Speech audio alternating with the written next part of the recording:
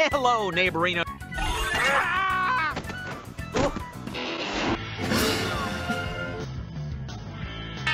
So you guys.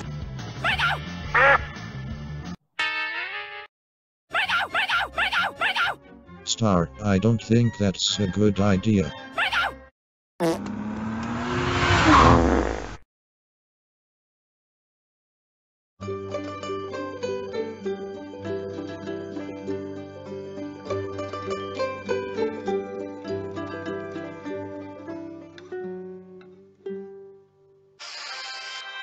This has been a Bartoon presentation in association with iCarumba Entertainment.